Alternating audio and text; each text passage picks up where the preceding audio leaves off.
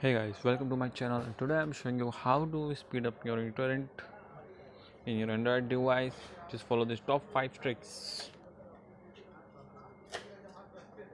So you show this this give me a 324 or 350 kbps speed in this your torrent file. Now i'm pause this. You can see the speed is decreasing quickly. And now i'm exit from this and you can see that I'm going to uterate again.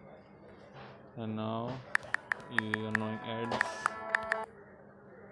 I'm using free version so that's showing an ad. So now you can see this is already paused uh, and now I'm started. And you can see the speed increasingly very fast. So you can follow this trick in your another uTorrent and then you it give you a speed. Now this second trick and then you can see speed is rising up. And if you found this video is helpful please give the thumbs up and subscribe to my channel for another techie videos. Thank you guys